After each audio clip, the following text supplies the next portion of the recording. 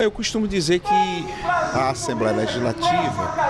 ela pode, podemos considerar dois momentos, antes da TV Assembleia e depois da TV Assembleia. Eu estou aqui de antes, desde 2003,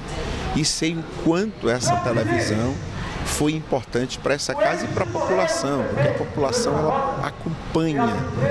ah, o seu deputado, o seu representante nessa casa e procura saber de fato o que, que essa casa está debatendo de importante para o estado do Piauí. De forma que eu quero aqui aproveitar a oportunidade para parabenizar toda a equipe da TV Assembleia, dizer da importância dessa TV que ocupou o seu espaço, conquistou o seu espaço e que hoje presta um grande serviço para a população do Piauí, levando aqui ao vivo as imagens da tribuna, das sessões, as informações importantes para o povo do Piauí, todas elas tramitam por essa casa e sem dúvida nenhuma são de interesse da nossa população. Parabéns, TV Assembleia, parabéns para a Assembleia e parabéns para o Piauí que conquistou essa importante TV.